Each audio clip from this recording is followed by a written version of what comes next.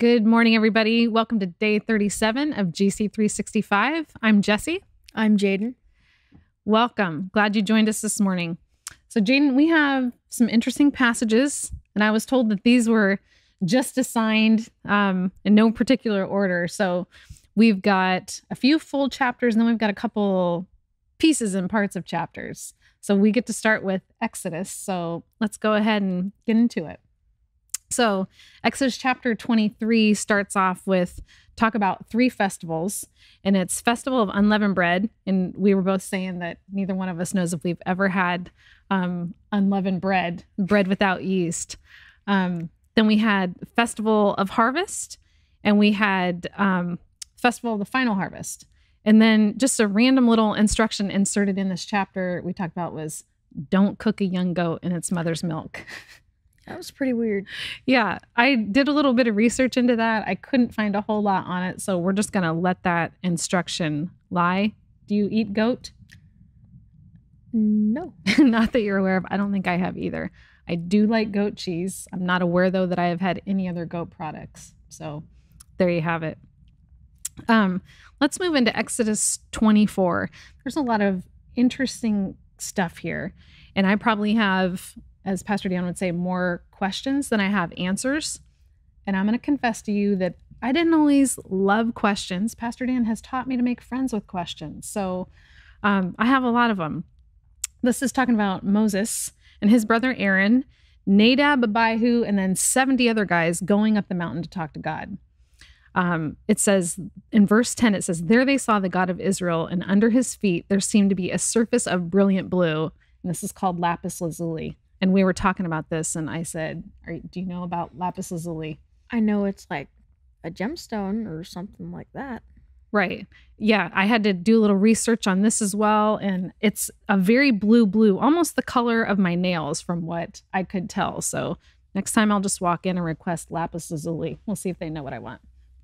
But um, they saw god that's the whole point here and so I can't even wrap my mind around around that. And then it says that these nobles of Israel gazed upon God, but he did not destroy them. And in fact, they ate a meal in his presence. So we were talking about famous people and who, who would this even compare to? I think that'd be pretty cool to be like having a famous person and eating with them. Right. And you who have you met that's famous? Anybody? I've met Tyler Lockett. Tyler Lockett. Okay. And were you nervous when you met him? Yeah, I wasn't really into football at the time, but Okay. now I am. Yeah. so. Okay. Yeah. So I can't even imagine eating and drinking in God's presence. Then we talked about the Lord said to Moses, Come up to me on the mountain. And it's we know that he had already climbed the mountain to a certain extent with these elders. And so I'm thinking he was calling Moses up higher. We talked about it's kind of like maybe if you're downstairs and your parents are upstairs and they're saying, Come up here for a minute. And do you always res- respond on the first time? Depends. Does it depend on which parent is calling you? Eh, depends. Okay. But I'm thinking that if God is telling Moses, come up here, Moses probably went on the first time. Yeah. That's uh, just assuming that. Um, then God said he was going to give him the instructions on tablets of stone so he could teach the people. So then it says Moses and Joshua started out, and it says Moses climbed up the mountain. And so again, I'm wondering did Joshua go the whole way with him, or did he just go part of the way and Moses went the rest of the way himself? I don't know. So listen, these are more questions that I have. Um, on the seventh day, it says Moses got up there and a cloud kind of descended on the mountain. And so for six days, he's kind of just hanging out up there in God's presence. And we were talking about what would that have been like? And what were you saying? Well, you're just sitting there waiting. Yeah. Like, you got enough food, you got enough water, you got to Right. make sure you got everything you need. Right. So on the seventh day, the Lord called to Moses. Um, so he was just up there hanging out and said to the Israelites at the bottom, it looked like a consuming fire was at the top of the mountain. And then it says um, Moses was up there for 40 days and 40 nights. And we were trying to kind of wrap our heads around how long a period of time that was. That's pretty long. Yeah. If you think um, from November 15th, I, I think I counted up to Christmas is 40 days. So there's always a lot that happens from November to December. So that kind of gives you a little bit of a grasp on that was a long time for him to be up there. Um, let's move on to Exodus chapter 25. And you had observation about that. What's going on in that chapter? Well, it tells a lot about how to how they built the covenant and it's very complicated. There were lots of instructions for the tabernacle. Some different what were some of the things that were mentioned that God asked them the people to bring? They needed stuff like gold, silver, thread, olive oil. Yeah.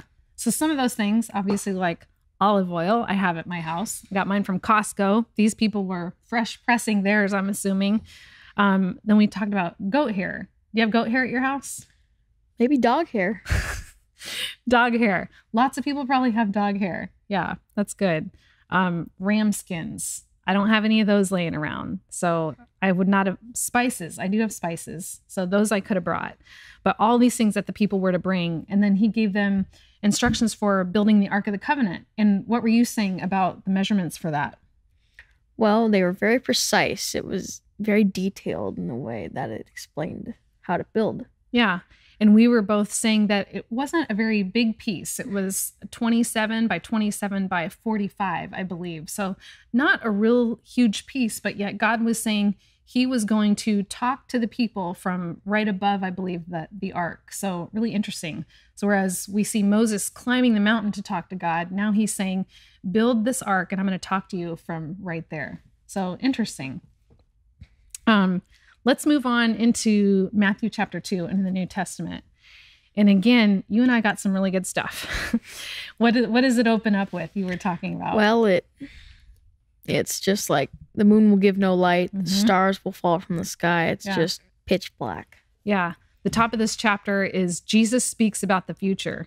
And so, some really interesting signs. When I was first reading this, talking about um, the moon will give no light, it made me think of um, the eclipse and how just that happens so infrequently. And when we hear that the sun's going to be, you know, darkened for a little bit, it's this fascinating thing that millions of people are going to be watching. And so I can only imagine with these things how the, the effect that they would have as well. Um, it says, and then at last the sign that the Son of Man is coming will appear, will appear in the heavens, and there will be deep mourning among all the peoples and you and I were talking about what what is that sign going to be? We don't really know. It doesn't really say. But it says they will see the son of man coming on the clouds of heaven with power and great glory. And then it says he'll send out his angels and gather his chosen ones from all over the world. And this made me think about heroes. And I was asking you, do you like the Marvel movies? I do. I feel like people do. Those those movies make so much money. Um, Thor is my favorite character um, he's big. He's got his hammer. What's yours? Did you tell me? Um, probably Iron Man. Okay. Yeah, Iron Man. That's a good one. Um, but I think here in this chapter, we're reading about a real life hero. Jesus really is coming back, and it says he's coming on the clouds with power and great glory. So even though, like we're talking about, it's hard to wrap our minds around, this is really going to happen. We don't know when, and we talked about that. The Bible says that um, nobody knows the time or the day but it talks about um, some signs in here. So what what are some of the one of the signs that we talked about that it mentions? Talked about um, a fig tree. Yeah. And how it was going to blossom when he was coming back. Yeah, Jesus said, Learn a lesson from nature. When you see branches bud and its leaves begin to sprout, you'll know that the summer is near. And I was saying, I love Washington because we get early signs of spring. I love to walk and be outside. And so even now, you can hear the birds are singing. I have flowers that are blooming at my house. And if you pay attention, the trees the trees have buds on them even now. And so Jesus is using these things that we see to remind us to pay attention. Um, but it goes on to say, no one knows when he's coming back. It says only the Father knows. So really fascinating um, it says, So you too must keep watch, for you don't know what day the Lord is coming. So heavy, heavy stuff, really interesting stuff as well. Um, we have Psalm 30. How do you feel about the Psalms? Well, some are interesting. Yeah. But this one was sort of normal. Yeah. Yeah. Not too much weirdness in here. Um, we both actually highlighted the same verse. What, tell me, what verse did you pick? Um, verse 3. Yeah. Yeah. It talks about You, brought me from the grave. Yep. O Lord, you kept me from falling into the pit of death. Yeah. And just so happens that was what I had highlighted as well. Why did you pick that? Do you know? It's interesting. Yeah. It was I had said that it reminds me of a favorite song that I'm listening to right now um, by a couple bands by Maverick City Music and Upper Room, and it's called Remember. And it kind of starts out as a communion song, but then one of my favorite lines in it is, um, we remember and we won't forget how you took our lives from the pit. So that's what that made me think of. I've been listening to that song a lot right now. Um, and then you had another verse that you really liked. Do you kind of remember what the what the gist of it was? Mm-hmm. Talk about that. Well, I okay, I forgot. I think it was you were saying you've made me as secure as a mountain. Yeah. We were talking about that. That's I think especially right now in our world when there's so much interesting things going on.